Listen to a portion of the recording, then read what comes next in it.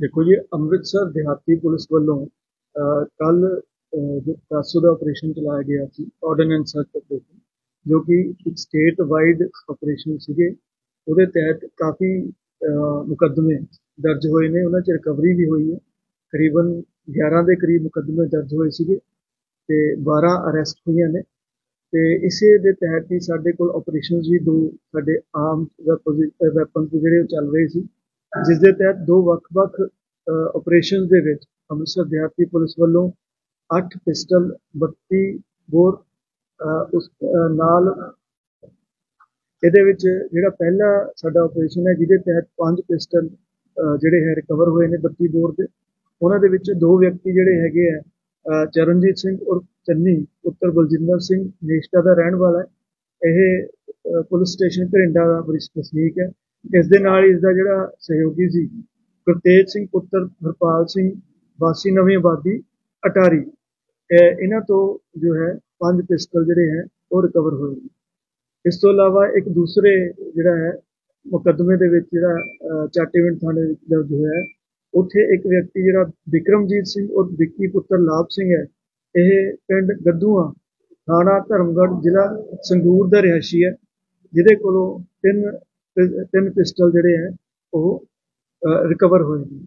ਇਸ ਤਰੀਕੇ ਨਾਲ ਅੰਮ੍ਰਿਤਸਰ ਦਿਹਾਤੀ ਪੁਲਿਸ ਵੱਲੋਂ ਜਿਹੜੇ ਦੋ ਵੱਖ-ਵੱਖ ਜਿਹੜੇ ਆਪਰੇਸ਼ਨ ਦੇ ਤਹਿਤ ਹੈ ਇਹ ਟੋਟਲ 8 ਪਿਸਟਲ 32 ਬੋਰ 8 ਮੈਗਜ਼ੀਨ 17 ਜ਼ਿੰਦਾ ਰੌਂਦ ਜਿਹੜੇ ਹੈ ਉਹ ਰਿਕਵਰ ਕੀਤੇ ਇਹਦੇ ਵਿੱਚ ਜਿਹੜੇ ਤਿੰਨ ਦੋਸ਼ੀ ਹੈ ਉਹ ਗ੍ਰਿਫਤਾਰ ਕੀਤੇ ਸਰ ਪਾਕਿਸਤਾਨ ਦੇ ਲਿੰਕ ਨਹੀਂ ਕਰ ਜੀ ਬਿਲਕੁਲ ਜੀ ਇੱਕ ਜਿਹੜਾ ਕੇਸ ਹੈਗਾ ਸਾਡਾ ਜਿਹੜਾ ਪੀਐਸ ਘੰਡੇ ਦੇ ਵਿੱਚ ਜਿਹੜਾ ਹੈ ਅਸੀਂ ਦਰਜ ਕੀਤਾ ਹੈ। ਉਹਦੇ ਵਿੱਚ ਕੁਝ ਸਾਡੇ ਕੋਲ ਐਵੀਡੈਂਸ ਆ ਰਹੇ ਨੇ।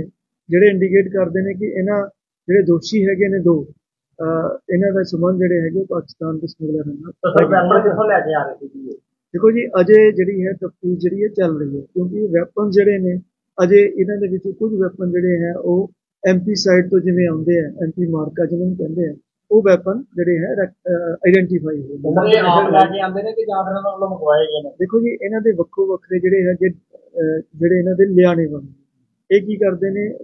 ਵੱਖੋ ਵੱਖਰੇ ਚੈਨਲਸ ਤੋਂ ਜਿਹੜੇ ਹੈ ਐਮਪੀ ਐਮਪੀ ਤੋਂ ਇਹ ਆਪ ਵੀ ਜਾਂਦੇ ਨੇ ਆਪਣੇ ਇਹਨਾਂ ਦੇ ਸੋਰਸਸ ਵੀ ਨੇ ਜਿਨ੍ਹਾਂ ਤੋਂ ਇਹ ਵੈਪਨ ਜਿਹੜੇ ਨੇ ਲੈਂਦੇ ਨੇ।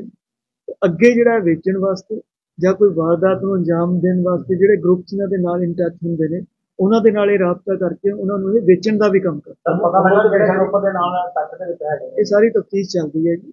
ਇਹ ਜੋ ਵੀ ਸਾਹਮਣੇ ਆਏਗਾ ਤੁਹਾਡੇ ਕਿੰਨੇ ਮਾਰਜਨ ਦੇ ਵੇਚ ਰਹੇ ਸੀ? ਕਿੰਨੇ ਦੀ ਲੈ ਕੇ ਵੇਚੀ ਅਲੱਗ ਅਲੱਗ ਅਲੱਗ ਇਹਨਾਂ ਦੇ ਜੋ ਵੀ ਹੁੰਦੇ ਆ ਰੇਟ।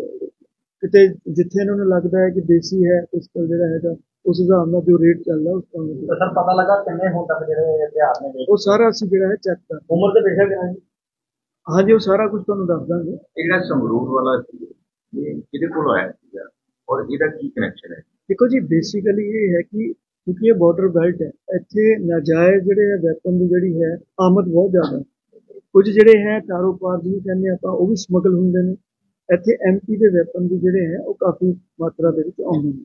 ਸੋ ਇੱਕ ਜਿਹੜੇ ਇਹ ਬੈਲਟ ਜਿਹੜੀ ਹੈ ਆਬਵੀਅਸਲੀ ਆਬਵੀਅਸਲੀ ਜਿਹੜੀ ਨੈਚੁਰਲ ਹੈ ਕੁਝ ਸਮਾਂ ਤੋਂ ਇਹ ਇੱਥੇ ਹੀ ਘੁੰਮ ਫਿਰ ਰਿਹਾ ਸੀ। ਤੇ ਇਹ ਜਿਹੜਾ ਹੈ ਵੈਪਨ ਪ੍ਰੋਕਿਉਰ ਕਰਕੇ ਅੱਗੇ ਵੇਚਣ ਦਾ ਜਿਵੇਂ ਕੰਮ ਕਰਦਾ ਹੈ। ਥਾਂ ਟਿਕਾਣਾ ਬਣਾਇਆ ਸੀਗਾ? ਇਹ ਮੀਡੀਏਟਰ ਸੀਗਾ ਕਿ ਕੀ ਸੀਗਾ? ਜਿਹੜਾ ਵਾਲਾ ਅਸਲ 'ਚ ਇਹਨੇ ਇਹ ਵੈਪਨ ਜਿਹੜੇ ਹੈਗੇ ਪ੍ਰੋਕਿਉਰ ਕਰਕੇ ਅੱਗੇ ਵੇਚਣੇ ਸਰ ਮੋਟਰਸਾਈਕਲ ਦੀ ਗਾੜੀ ਜਿਹੜਾ ਸਪਲਾਈ ਕਰ ਇਹ ਸਾਰੀ ਚੈੱਕ ਕਰਦੇ ਆ ਕਿ ਕਿਉਂਕਿ ਇਹ ਮੋਟਰਸਾਈਕਲ ਕਿਉਂਕਿ ਇਹ ਆਪ ਜਿਹੜੇ ਕ੍ਰਿਮੀਨਲ ਬੈਕਗ੍ਰਾਉਂਡ ਤੋਂ ਨੇ ਕਿ ਜਿਹੜੇ ਵਹੀਕਲ ਇਹਨਾਂ ਨੇ ਯੂਜ਼ ਕੀਤਾ ਹੈ ਕਿ ਉਹ ਚੋਰੀ ਦਾ ਤਾਂ ਨਹੀਂ ਸਾਰਾ ਚੈੱਕ ਕਰ ਜਿਹੜਾ ਸਰਚ ਆਪਰੇਸ਼ਨ ਸੀਗਾ ਇਹ ਮੇਰਾ ਮੇਜਰ ਰਿਕਵਰੀ ਤੁਹਾਡੀ ਹੈ ਜੀ ਬਿਲਕੁਲ ਜੀ ਤੇ ਹੋਰ ਵੀ ਕਿਤੇ ਕੋਈ ਰਿਕਵਰੀ ਨਹੀਂ ਹੋਈ ਹੈ ਜੀ ਜਿਵੇਂ ਤੁਹਾਨੂੰ ਦੱਸਿਆ 11 ਦੇ ਕਰੀਬ ਜਿਹੜੇ ਐਫ ਆਈ ਆਰ ਦਰਜ ਹੋਈ ਟੋਟਲ ਟੋਟਲ ਦੀ ਗੱਲ ਕਰ ਰਹੇ ਪੰਜਾਬ ਹਾਂਜੀ ਨਹੀਂ ਨਹੀਂ ਨਹੀਂ ਅੰਮ੍ਰਿਤਸਰ ਦਿਹਾਤੀ ਜ਼ਿਲ੍ਹੇ ਦੀ ਨਹੀਂ ਮੈਂ ਕਹਿ ਰਿਹਾ ਪੰਜਾਬ 'ਚ ਮੇਜਰ ਰਿਕਵਰੀ ਮੇਰੇ ਕੋਲ ਤੁਹਾਡੀ ਹੈ ਹੋ- ਹਾਂਜੀ ਹਾਂ।